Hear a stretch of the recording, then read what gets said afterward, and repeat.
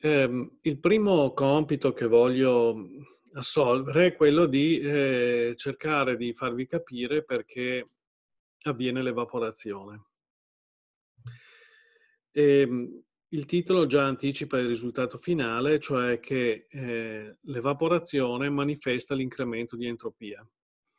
È quindi un fenomeno, è quindi un fenomeno termodinamico eh, e da questa e, e cercheremo di capire ehm, di capirne le ragioni intrinseche.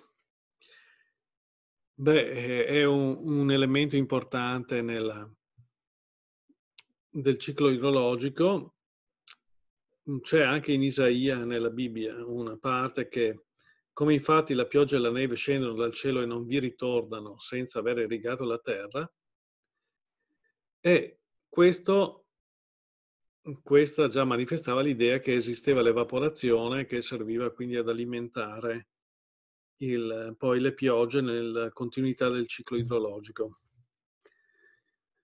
E, ehm, e questa sorpresa dell'evaporazione che, che avviene ha a che fare con un ehm, con la termodinamica da vari punti di vista, anche perché avviene una transizione di fase, cioè la transizione di fase che porta, fa passare l'acqua da liquida a vapore. Ehm, in, nel caso eh, generale che noi andremo ad affrontare avremo anche, eh, oltre all'evaporazione vera e propria, che è quella delle superfici liquide, avremo l'evaporazione eh, che avviene dalle, dai suoli, che sono un mezzo poroso e quindi l'evaporazione nei suoli ha delle peculiarità che andremo e che cercheremo di, di rappresentare.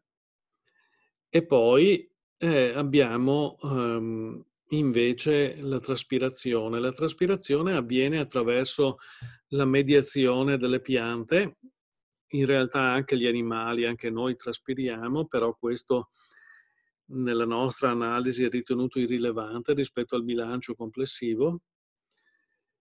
E ehm, le ragioni della traspirazione sono mh, più complesse di quelle dell'evaporazione, cioè, ehm, e andremo ad indagarne alcuni aspetti in seguito. Um, gli idrologi eh, usano questa parola, eh, questa crasi di due parole, evapotraspirazione. Non transpirazione come ho scritto sì qui, ma traspirazione. E, ehm, è una parola che chiude tutto perché noi non siamo, eh, soprattutto quando guardiamo il, il paesaggio, non siamo in grado di distinguere facilmente i vari contenuti evaporativi da dove questi eh, provengano. È una scienza tutta in divenire questa e finora quindi è prevalsa anche questo, questo termine per cui all'interno della comprensione dei fenomeni viene sempre incluso un termine evapotraspirazione che significa quasi dire eh, ixunt leones, qui c'è una terra un po' inesplorata in cui eh, c'è effettivamente la transizione di fase dell'acqua da, da liquida a gassosa, però non sappiamo bene cosa succede. Quello di cui siamo sicuri che è un flusso di energia, di acqua, quindi di massa, di vapore, e rappresenta anche un flusso di entropia. E questo è il tema di questa prima lezione. Eh, come avviene l'evaporazione? Beh, l'evaporazione, eh, se cerchiamo di capirla, è eh, una manifestazione del fatto che, il, che tutte le sostanze sono composte, in particolare i liquidi, da molecole. Queste molecole sono soggette ad agitazione termica per cui si muovono e sono trattenute all'interno del liquido dal fatto che eh, sulla su- la superficie del liquido rappresenta una resistenza ad uscire, anzi tende a trattenere le particelle al suo interno. Però la distribuzione dell'energia cinetica delle particelle all'interno di un, di un liquido non è uniforme ed esistono alcune particelle che hanno un'energia cinetica superiore all'energia eh, di soglia capace di eh, sfuggire alla, alla superficie. All'interno del liquido l'acqua è trattenuta nel liquido dai, uh, dai legami, ad idrogeno, uh, legami ad idrogeno eh, perché come sapete l'acqua è una molecola polare, da questa si traggono uh, varie delle sue caratteristiche anche chimiche, chimico-fisiche. E comunque questi legami ad idrogeno si possono rompere e e quindi in una parte si, si forma quello che è il vapore nella parte superficiale. Ehm, l'evaporazione avviene eh, continuamente al di sopra delle, eh, al di sopra delle, delle, delle, superfici liquide, ma direi anche al di sopra dei solidi, in quel caso si chiama sublimazione. Anche i solidi, in qualche modo, eh, sia pure in maniera minimale, evaporano. Eh, se quella che rappresentiamo fosse una pentola, ad esempio adesso è mezzogiorno, potrebbe essere l'ora di buttare la pasta, eh, noi, eh, beh, la nostra, eh, che cosa succede? L'acqua nella nostra pentola evapora. Se noi aumentiamo la temperatura, in particolare la portiamo al punto di ebollizione, la, poi l'evaporazione ha una, uno sviluppo violento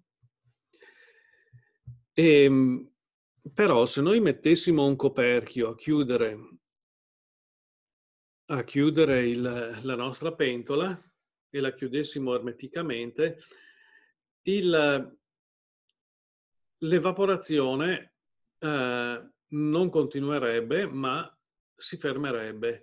Infatti, dat, assegnata la temperatura, la, esiste una, una pressione di equilibrio fra il vapore nell'atmosfera immediatamente eh, superiore alla superficie libera, eh, esiste sì, una, una, una quantità, una pressione di equilibrio che si chiama tensione di vapore. Nei sistemi naturali il coperchio non c'è, quindi le molecole, una volta liberate dalle superfici liquide, vengono portate via dal, eh, dal vento in particolare da un vento che agisce in un sistema turbolento.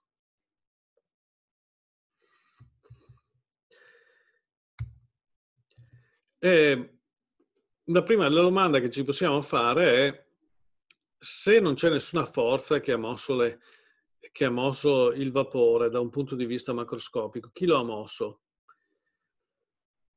Potremmo andare a guardare come è fatta l'energia del nostro sistema eh, del nostro sistema eh, di vapore. No? Se lo guardiamo nel suo complesso, eh, possiamo dire che la variazione dell'energia interna dU, che abbiamo reso qui che cosa? Dipendente da S che è l'entropia, V che è il volume, M è la massa, tutte quantità estensive. Eh, questa variazione di energia che cosa è uguale? Questa è la, eh, una, la legge termodinamica di conservazione dell'energia in una delle sue forme e ci dice che è uguale alla temperatura per la variazione di entropia meno la pressione eh, eh, per la variazione di volume che è il lavoro fatto dal sistema meno perché va a diminuire l'energia eh, la pressione si, si intende positiva se va a diminuire l'energia del sistema stesso e quindi se lo espande.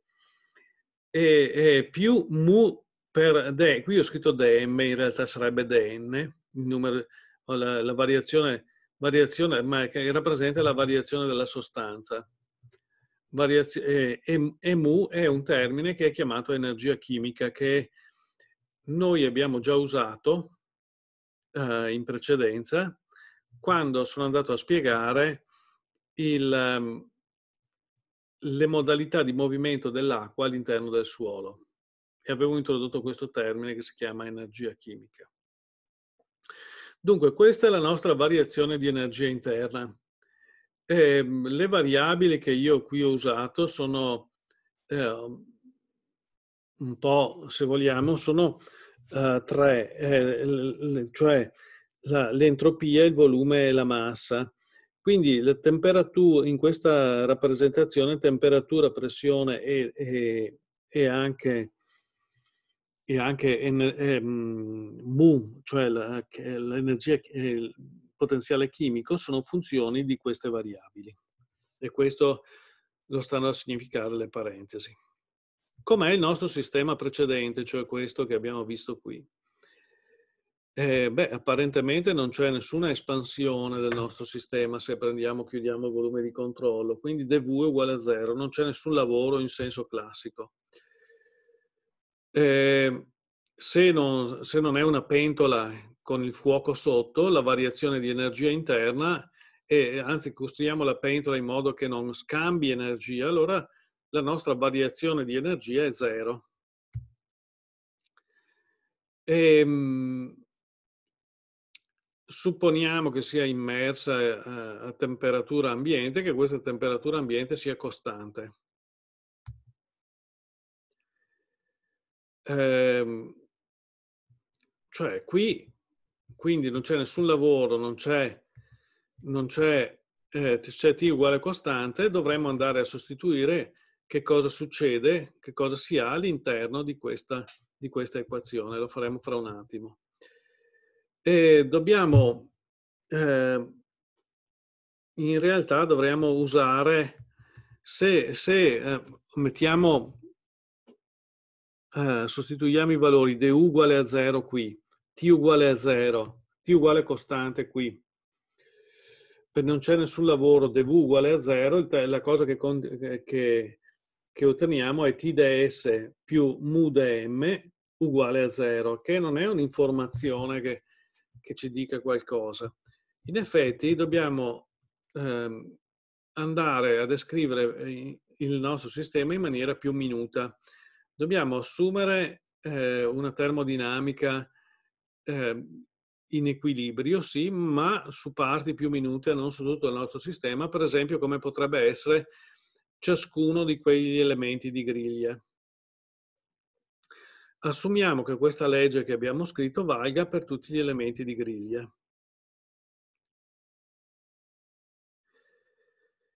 E per ognuno, eh, allora per ognuno degli elementi, eh, per ognuno degli elementi eh, di volume vale l'equazione di prima, cioè E, e divideremo la, le, tutte le quantità grandi che prima erano U grande, S grande, eh, m grande e v grande, li dividiamo per v.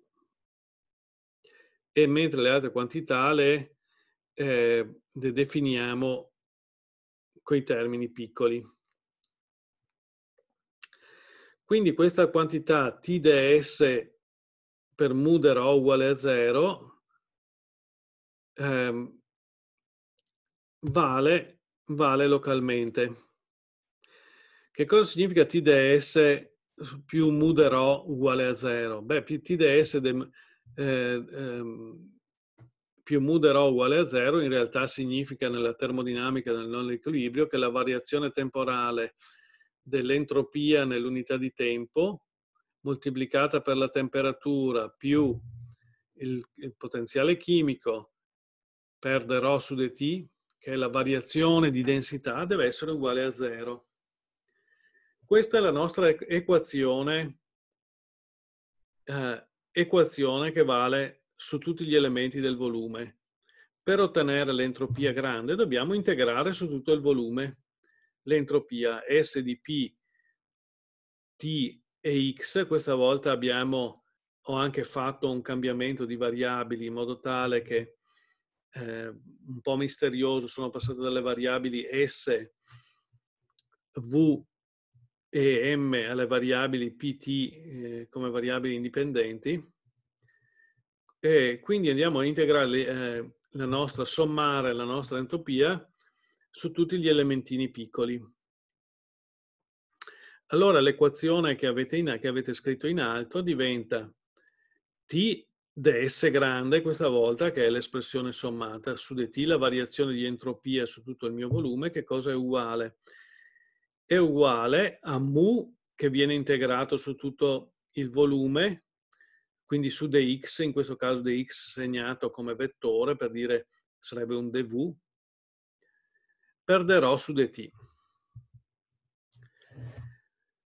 D'altra parte noi sappiamo anche come funziona la legge di conservazione della massa, cioè d rho su dt più la divergenza del flusso uguale a zero.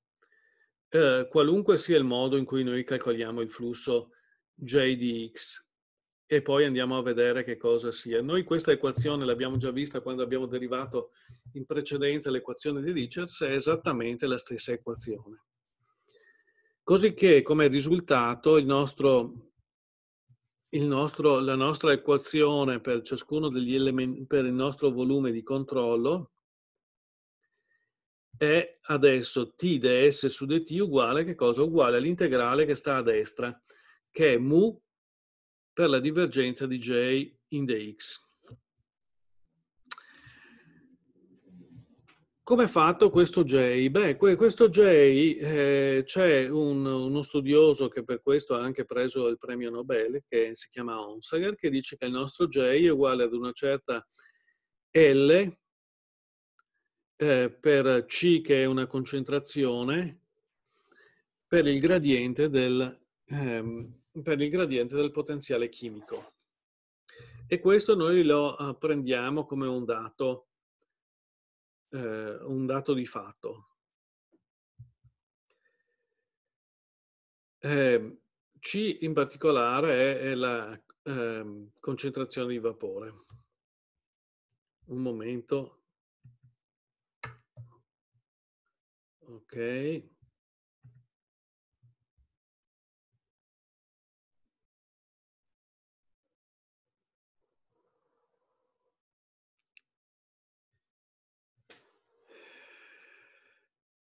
È giusto come ce l'ho adesso, con il meno. E cioè la, la domanda è, se ho ben capito, se qui va il meno o il più, va il meno.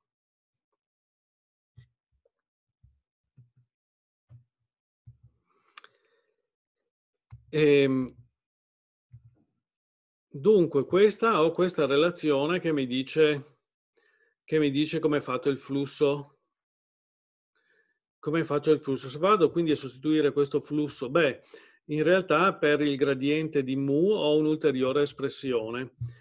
E il potenziale chimico, anche questa espressione noi l'abbiamo già visto, è esprimibile come un potenziale chimico di riferimento perché si tratta di un'energia più R che è la costante dei gas, per T che è la temperatura in Kelvin, per il logaritmo naturale di un rapporto che noi avevamo visto tra uh, attività chimiche, ma che qui possiamo esprimere come rapporto fra pressioni. Una pressione parziale di riferimento è con zero e la pressione parziale relativa al vapore nella posizione x del nostro volume. Uh, in ogni caso, uh, se noi esplichiamo nostro, le nostre espressioni uh, di J all'interno della, del, dell'equazione precedente, otteniamo, e poi, realtà, e poi eh, attuiamo una cosa che qui è nascosta, che è un'integrazione per parti, e che quindi si, si mangia un segno meno, tra l'altro. C'è un'integrazione per parti che qui non viene, che non è stata eh, presentata qui, ma che porta a questo risultato che vedete rappresentate, otteniamo come eh, che t ds su dt è uguale all'integrale che avete a destra. La caratteristica principale dell'integrale che vedete a destra è che ha il quadrato del potenziale chimico e il termine è positivo. Qualunque sia la soluzione di questo integrale, eh, ciò significa che eh, ds su dt è uguale a questo termine che è positivo diviso la temperatura. Quindi la mia entropia cresce sempre. Qualunque sia il valore numerico che andiamo, um, che andiamo a verificare, beh, T, la temperatura è positiva, l'integrale è, è, composto da tutti i termini positivi, la variazione nel tempo dell'entropia è positiva. E come siamo partiti per ottenere questa equazione? Beh, siamo partiti dal bilancio di energia. Quindi otteniamo due risultati. Una che è quello di che l'equazione ci dice che l'entropia cresce nel nostro sistema. Cresce con il tempo. E l'altro è che, eh, che questa equazione che mi descrive l'aumento dell'entropia è l'equazione dell'energia, che potrebbe essere un risultato non ovvio della termodinamica dell'equilibrio, perché nella termodinamica dell'equilibrio eh, l'aumento di, di entropia è un principio, cioè si dice che il sistema all'equilibrio ha entropia massima compatibilmente con i vincoli in cui si trova il nostro sistema. Qui invece nella termodinamica dell'equilibrio, di cui l'evaporazione è una manifestazione, abbiamo che l'entropia cresce perché questo è dettato dal comportamento della, eh, del bilancio di energia. l'energia è conservata, implica che l'entropia cresce.